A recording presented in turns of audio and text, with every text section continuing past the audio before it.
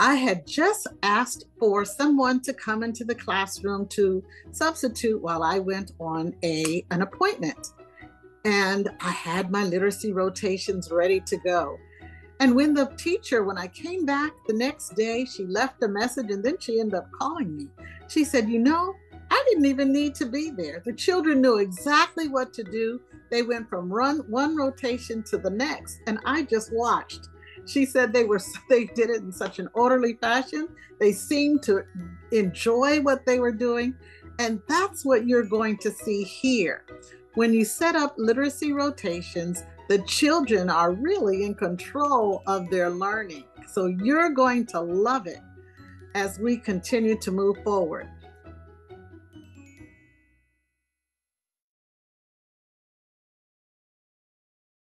All right, so we've had our we've had our welcome.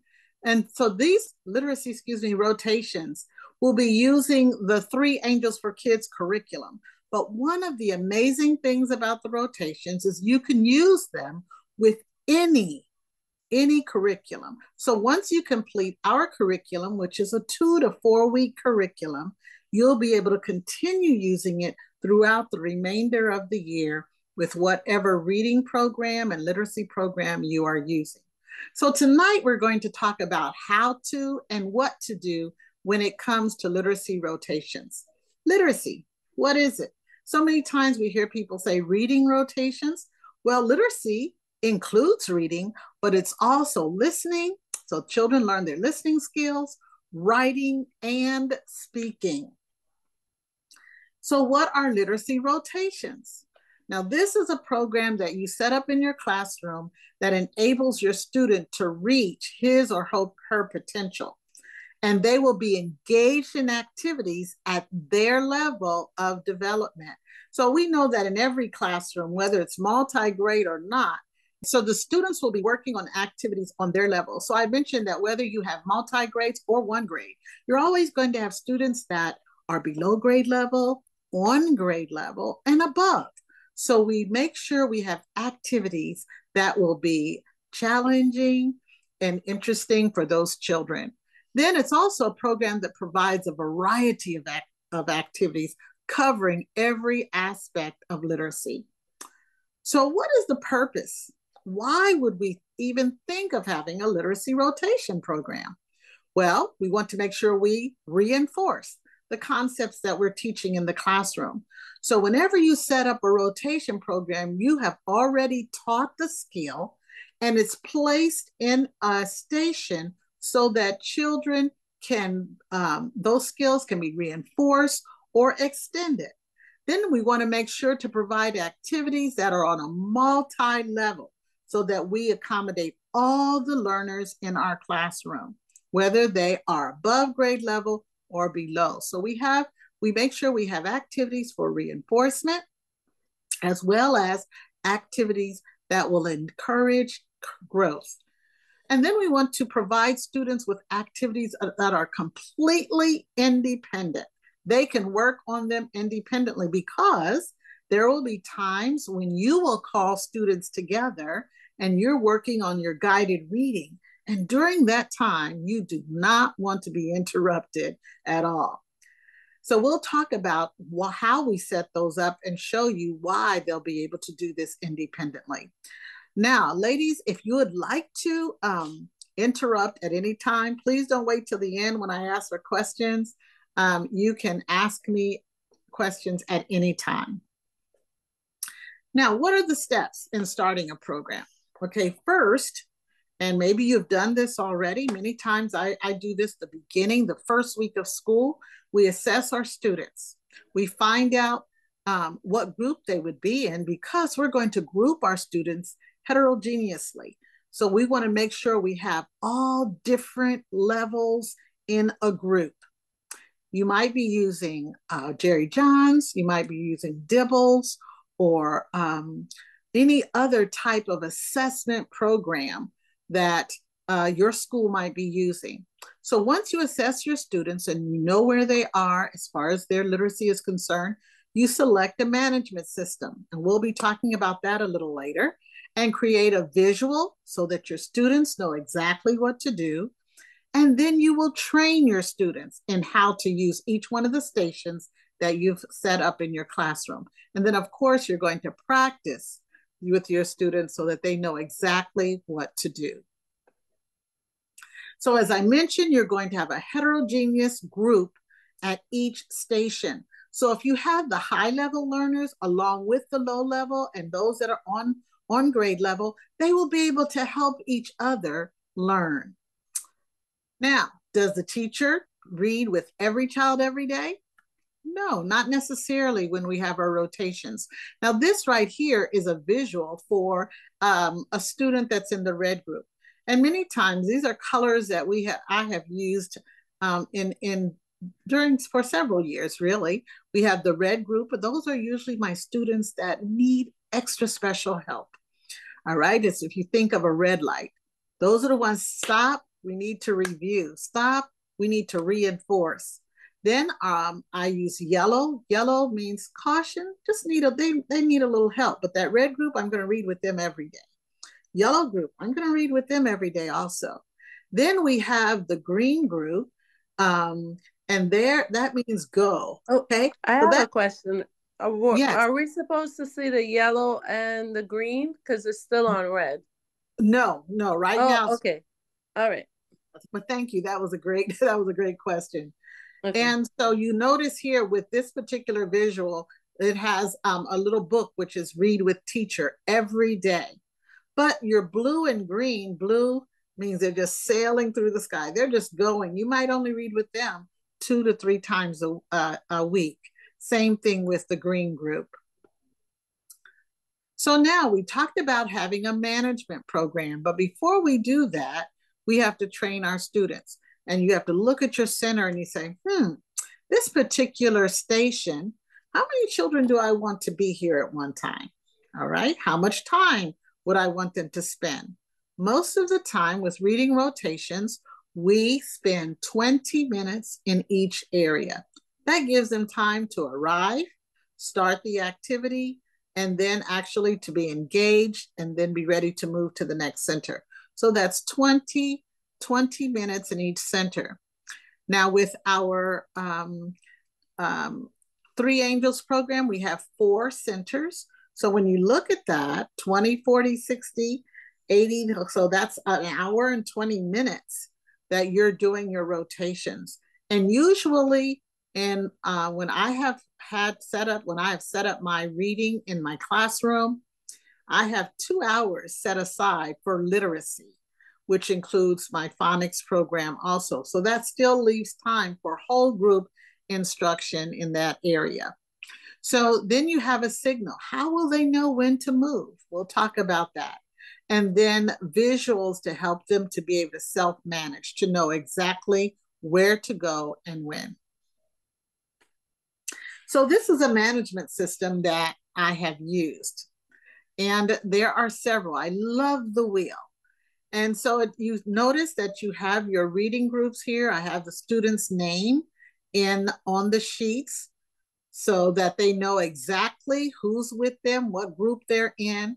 This this particular year, I had um, the bears. That was my theme in my kindergarten and first grade classroom. And then those same areas, we have whether or not they were working with their writing or letter recognition, whatever it was, we moved that circle. And I'm going to talk about that, how we move the wheel and what the students should be doing. Here's another rotation wheel. You see the colors there and the various activities that the students will be engaged in. This is another year when I had sports as my theme. And you see where the wherever that color is, the students in that color, that's where they would be during that time. After 20 minutes, I rotate the wheel so they know exactly where to go. At this time, I don't have the names. I didn't have names on the on the cards as of yet. This was at the very beginning of the year. Now, so either do either one of you have pre-K in your classroom? No, I have three to five. Three to five, and uh, was that Tricia? Or yes, Annette? it is. Okay, Annette, what grades do you teach? I teach one through eight. One through eight. All right. Mercy. So, I oh. know. God bless you. God bless you. Lord have mercy. I, I respect teachers at those grade levels, but I have seen it done and they run so smoothly. And Ooh. the older students are able to assist in teaching the younger students. And that will work out so well with rotations because different grade levels can be working working on different um, uh, literacy skills and they can also assist each other. That's something I'd like to talk about. Okay, so for pre-K, pardon me, the pre-K stations, I'll just skip right through that since we don't have pre-K, but we make it very simple for them using pictures and numbers and with their vocabulary cards. You'll notice here that um, there are pictures. The word is there and the picture to make it easy for them to know what that word is. Now, the skills that are taught in K2 curriculum with the three angels for kids, as far as literacy and integrating that um, with Bible and reading, we have vocabulary. We learn about syllables, contractions, sentences, sequencing, recall, different features when it comes to reading text. And then we're going to look at shared reading, guided reading, and shared guided writing. And then, of course, listening skills as we discuss our reading rotations. Now, this is in my, my classroom. This is showing some of the uh, vocabulary words and contractions that we're using at that time. This is all included in the Bible program, Three Angels for Kids. So that Bible is integrated in the literacy program for the lower grades. So the rotation stations for K2, sentence strips, and we'll be talking about that, vocabulary cards, skills and concepts, um, listening center, which are the stories that um, are in the program, then the puppet pals or puppetry, and then reading with the teacher. So our two, we have two anchor books, and one of them is Three Angels in the Sky. That's the first book that the children will read. And it is so interesting because this book is so well written by Dr. Doran. And by the time they complete this book, they know it by heart. the children are able to recite it. So that you're reading with the children. And whenever we read in the lower grades, and both of you are, are above K1 and 2, but when we read with the lower grades, well, Annette, you do have some lower grades. When we bring those younger children together, we read and they listen to the teacher read. Well, first, when we give them their book, we're going to have them do a, a picture walk as we go through our book and just look at the book, come, become acquainted with the pictures, the words that they see on the pages as they guess what the book is about. Then, once we start the reading, the children listen as the teacher reads the page. Very simple. You can see that there's not that many words on the page because it's for younger children. Then the teacher will read it again. This time she'll read a sentence, the students repeat after her. She'll read another sentence, students repeat. So they echo read. So then um, the students will um, end up reading, the teacher will read a sentence and then they will read the next sentence. So we have um, a pattern and uh, steps that are taken in reading a book. And here are some students that are reading that book. Then the other anchor book is God Makes a Plan. So we have two anchor books that are used in the very beginning of the year. Now, sentence strips. As the students read the book, then the, the teacher will ask, hmm, what do you remember about this particular book? And the students will tell the teacher what they remember. The student teacher will then write what the student is saying on a sentence strip. Then the student students will place the sentences in order. Now the students will um, read. You have one student that acts as a teacher as the students read. Let's just listen for just a few seconds. You're going to have students at, on different levels. Three angels in the sky. It's working. Oh my. Okay, great. Oh my. Oh my. The first angel said. Okay, I'm going to stop here. Now, those students were reading what we had already written. And then once they finish, all of those sentence strips are placed in a center. And then the group will come together and read, as you see here. So the students take those same sentence strips, and in their group, they're going to try to put them in order and read them. So that becomes a station where they will review what they have read. And then there have been times when I've actually taken the strips, cut them, and the students will place them in sentence order. Then something else that we have that you could place in the reading station. We have the three angels messages that are simplified for it's written in very easy language so that children will understand. So this is a chart that they've used in the classroom and then it can be placed in the center where they can review the chart. They could write a few words about what each angel has said and um, then they can they can actually once they've written it they can actually make an activity book. So you want to include paper and pencil in each area so that the students can review those skills. This um, particular curriculum also includes watercolor, which is an art program. And I loved it so many times in our elementary schools. We may not have a separate art teacher, um, especially if you're teaching um, if you're teaching multi-grades many times we don't we're not in a school where we have a PE teacher and an art teacher and a music teacher. We're doing it all. So um, this particular program includes a watercolor program where the children actually learn the skills in um, in painting. So they learn how to paint wet on wet, wet on dry, and they understand what that means.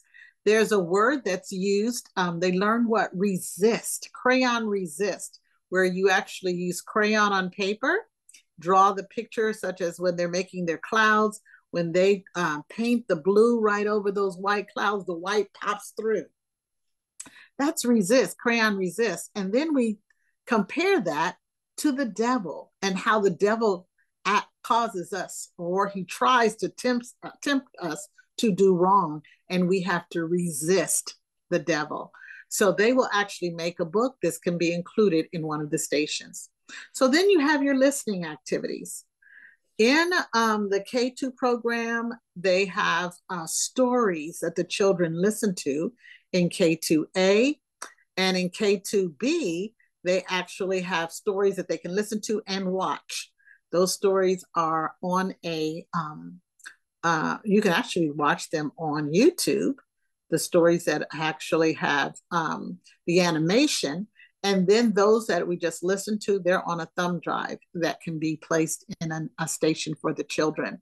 I'm going to talk about the book Who Can in just a moment because they're, they use QR codes and the children can just um, listen to each page by clicking on the QR code. Then we have stories. Now, the the um, newest, one of our newest uh, books or new stories I have uh, taken from my own childhood and um, some of my teaching experiences.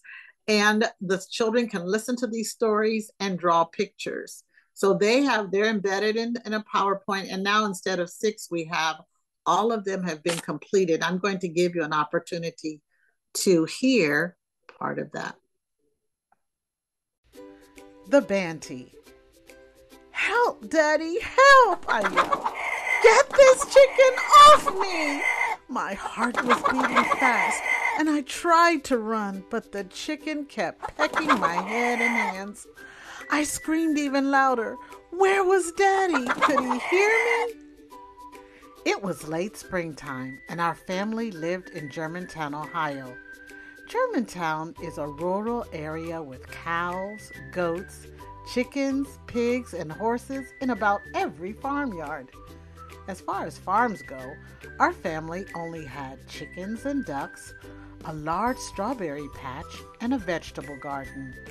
The strawberry patch was loaded with plump, ripe fruit.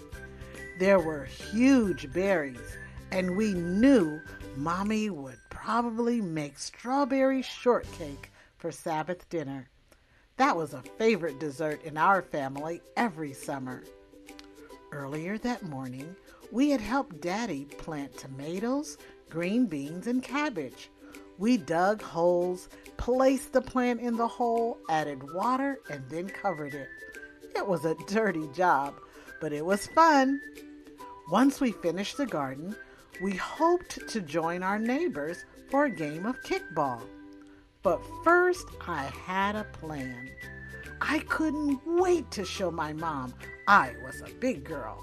I was so excited. I would surprise mommy and get all the eggs this morning, I said to myself.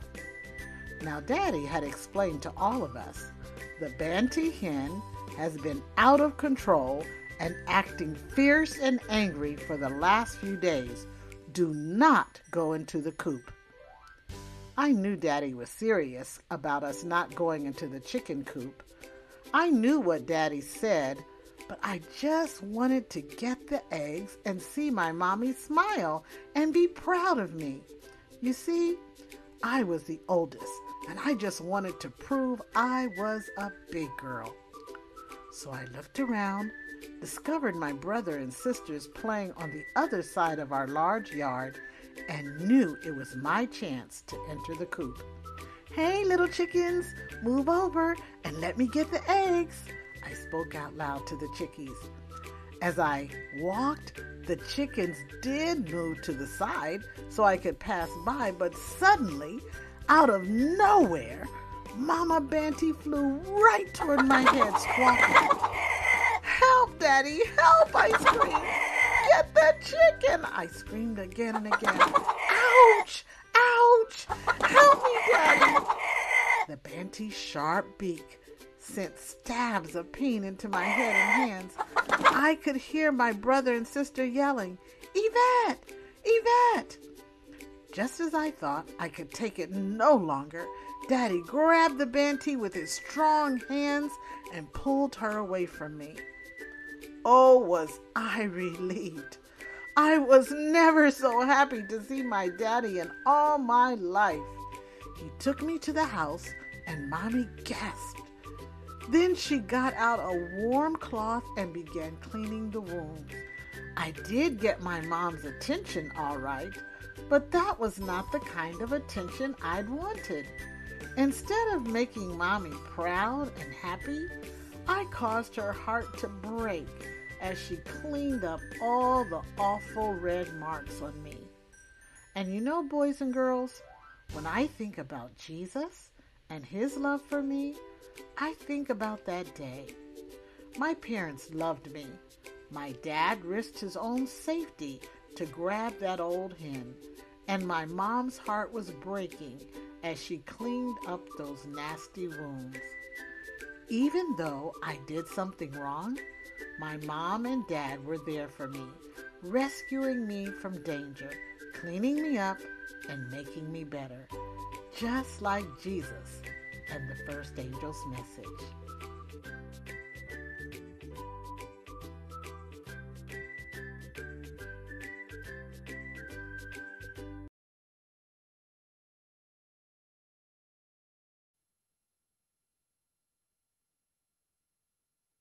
I did have a question. Um, the thumb yeah. drive. Do we have a thumb drive that comes with the set? Yeah, it oh, does. Oh, okay.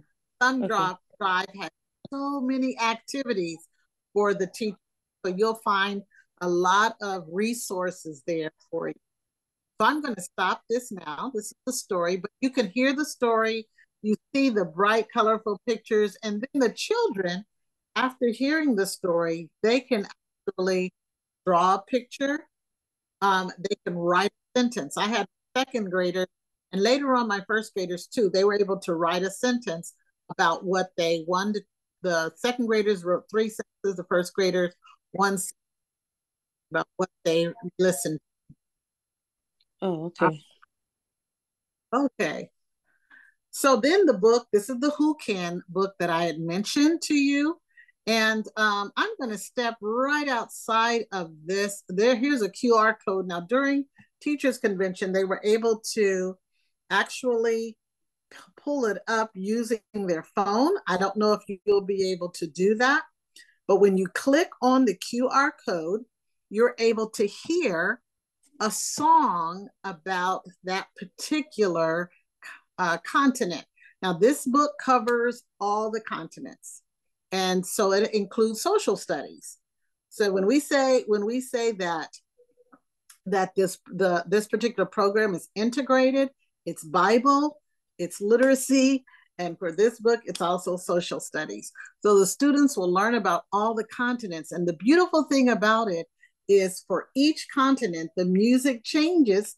And so it sounds like the music that you could hear from that continent. So from North America, they have Jamaica. So you hear some of the reggae music. You go to another country and you'll hear the um, instruments and the music from that particular from that particular country. And we'll talk, I'll show you that in just a moment. So now the requirements for the vocabulary or word work, you want to provide activities in an air in um, this area of literacy also. You want to make sure that it's multi-level, as we talked before, and you want to make sure that it can be completed independently. So select, um, when you select the activities that the students are able to do, these are activities that they already have experience doing in the classroom. And then we have actual, actually added some activities so um, in the teacher's guide so that you don't have to guess or wonder what can I place in the center. We provide all of that for you. So when you receive your packet, you're going to see the vocabulary cards. You're going to um, you're going to receive the um, thumb drive, as we mentioned before, all of the booklets. You'll see receive the art paper for the um, watercolor as well as the booklet. So everything you need, and we've written lesson plans for you. So everything is there. That's why we said you can actually take a break from from um, the uh, Bible program. Maybe after you've completed a unit, our regular Bible program, you can work with um, Three Angels for Kids for two to four weeks, and everything is there for you, and then go back to our, our regular Bible program. So we want you to provide, we want to also uh, make sure you have provided a method for the students to self-check. And then just so that it will last, we just recommend that you laminate all of the work. So here I am again, I'm showing them, we're working with the contractions um, as one of the skills. And then these cards will be placed in the station and the, all mixed up. And then the children can, are able to um, work with contractions. Um, we, we talk about syllabication. So the students um, need to, they learn what are syllables, what are the word parts. And so um, this is another activity that can be placed in the center after the students have learned in their class. So for example, revelation, they learn how to clap, you know, those syllables out. And then for an activity, one of the things I did, I had numbers so they could place a three, a four, a two next to the word. But in the classroom, we counted out they nation or tap it on the desk. Um, sometimes once I have all the centers, children are moving from one center to the next, where clapping could disturb others, they just tap on their desk um, the, the syllables.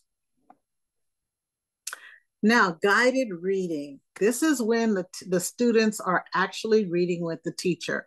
When you pull students to read, it's a homogeneous, homogeneous grouping. So you want to make sure after you've assessed your students, you're pulling students on the same grade level for guided reading.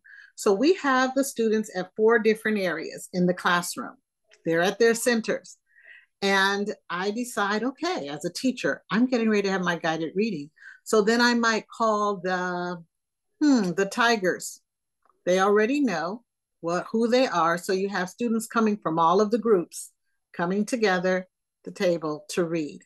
And this is when we review the their reading skills. They're learning how to decode So they they're this is the very beginning, you know. So we'll have kindergarten where they're actually learning how to decode words. Um, we read together. Sometimes while children are reading, you may assess a student at the table. Um, as a teacher, you could read one on one with the group at the table while everyone else is reading or completing an activity. You go to a, the side of a student and work with just that one student or discussion of some of the stories that you have read.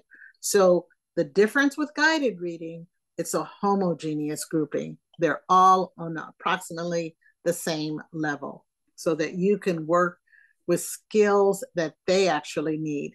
You know, sometimes we hear the word scaffolding and differentiation. Um, and, and sometimes I hear people using that word um, uh, as if they, they're the same, those two words, excuse me, as if they were the same. But scaffolding is what we do first with students. Um, we might break our learning into chunks or provide a tool or a structure for them to learn a skill. But when it comes to differentiation, that's when sometimes you may need to actually modify or provide an entirely different text for a student or students so that um, they're able to do so at their level. Now, five steps to grading to guided reading success.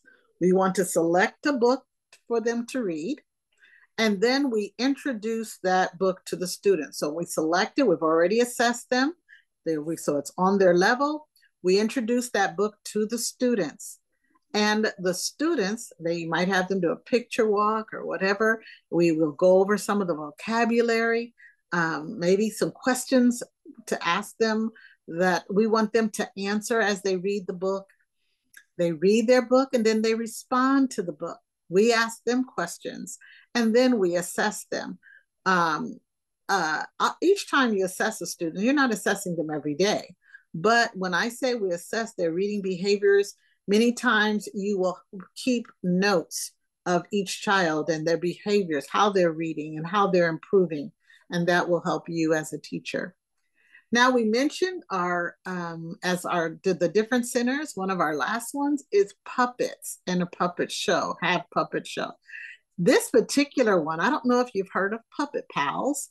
It is on um, an app that you can get for the iPad, and I know they were working on um, being able to use that with other other uh, computers also. But at least I know they have it with the iPad, and this, it's such an amazing app. The children enjoy it, they love it. And um, they're able to work independently to set up a puppet show. Now, they include pictures of characters, or you can use um, some of the puppets that I'm going to show you in just a moment that come with the um, in the teacher's guide that they can place on a stick and and you know kind of reenact the story. But let me show you how puppet pals works. I love this one. Now here's the cardstock that you will find the puppets that you'll find in the back of the teacher's guide and they're able to retell the story here three angels in the sky oh my oh my oh my the first angel said give god the glory he's always fair and good and true he'll do what's right for me and you. He made the earth and outer space. Now go and tell in every place. The, the second angel said, The city's going down. Watch out, be safe, get out of town.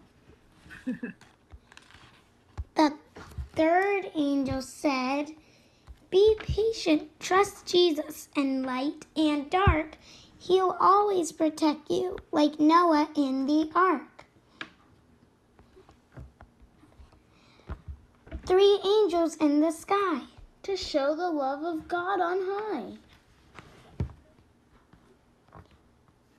And when their story's said and done, we all look up and see God's Son.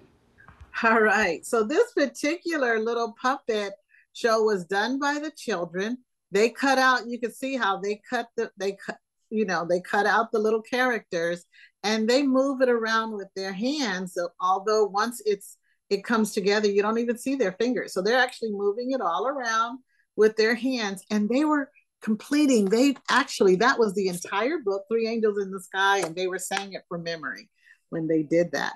So um, the kids, once they completed, the whole class has fun watching it. So you can imagine going to the centers and listening to your classmates, listening to their puppet show that they have created.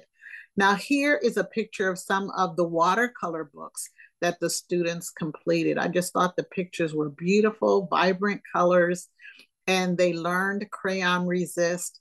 And um, they actually, at the end of the book, they write about the author, they learn about how to do that, and they have a dedicatory page where they dedicate their books to someone.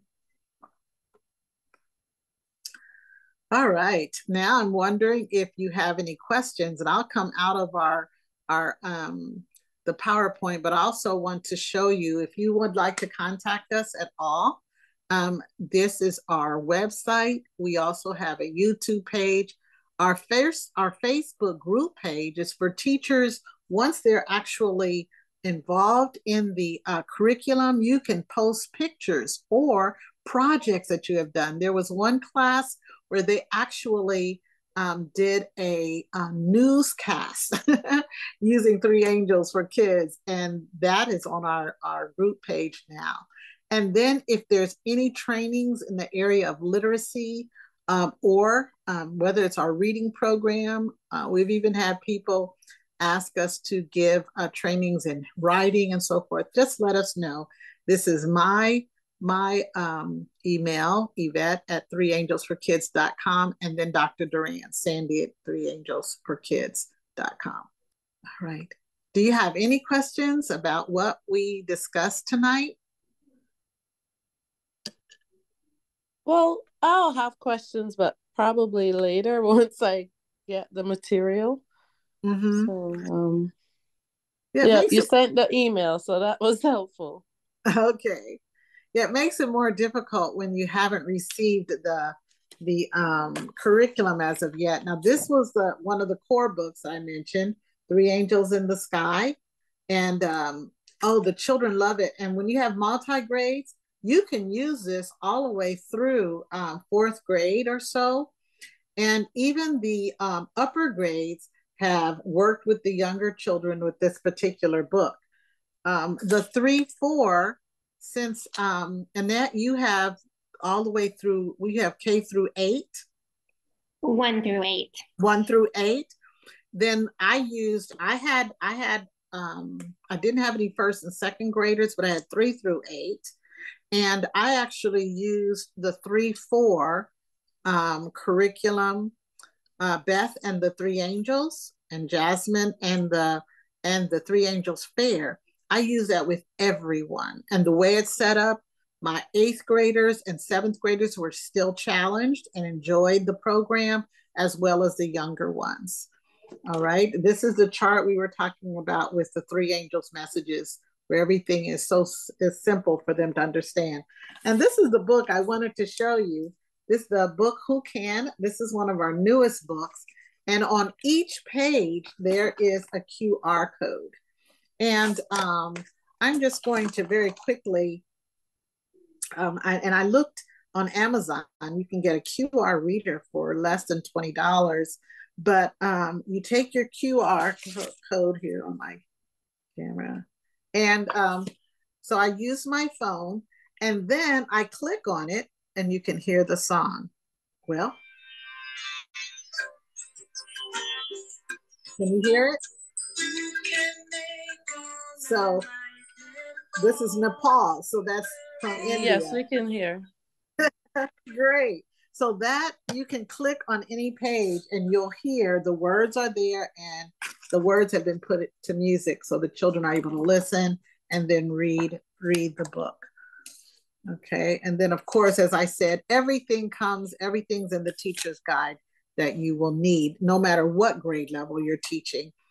Um, for since you have case, I mean, to one through eight, in the fifth and sixth grade readers, that particular program is a writing program. You have 10 booklets. And the nice thing about that, it's written on three different grade levels in each booklet so that when you have them read the story, they can open it up. And if you have a child that's not reading at grade level, no one ever knows, which is so important when it comes to middle school. You don't know if they're reading on page five, where the lower uh, lower level reader is, or page eight, where the upper grade, or not upper grade, but upper level of reading is um, higher level reading for those children that they can still be challenged. All right. Um, any any questions at all? Well, I hope you enjoyed it, and I just hope your your curriculum comes soon because that is so. It would make it so different once once you see that you would know what I'm referring to in the in the book. But thanks so much for coming on, ladies, and I just pray that God will continue to bless you throughout your school year. Thank you so much. I appreciate it. Yes, thank you so much. And wow, one through eight. And here am I, like three to five, and and having to do the office. So, ooh, God bless you. Yes, well, I need your prayers. we'll do yeah. that. So I'm just going to pray that God will be with both of you throughout the, of the school year. If we can just close with prayer at this oh, time. Yes, sure. Thank you. Dear Jesus, it's been a nice evening. I pray that you will please be with Tricia and Annette. Bless them, Lord, in their classroom, the challenges that they will face this year. I know that you'll be right there with mm. them. Mm. The, the, the celebrations that they will experience this year, you will be mm-hmm. right there with them. And Lord, I pray that you will grant them the desires of their heart throughout this mm-hmm. school year.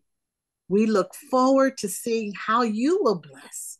In your name I pray. Amen. Amen. Amen. amen. Thank you, Miss Yvette. Have a good evening. God bless right. you. Bye-bye. God bless you too. Thank you. Bye bye.